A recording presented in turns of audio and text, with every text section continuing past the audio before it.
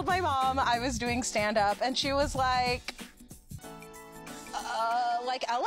Like, she had no concept. And then I told my dad, and he was like, So you just hang out at bars? Yes, to work. That doesn't sound like work.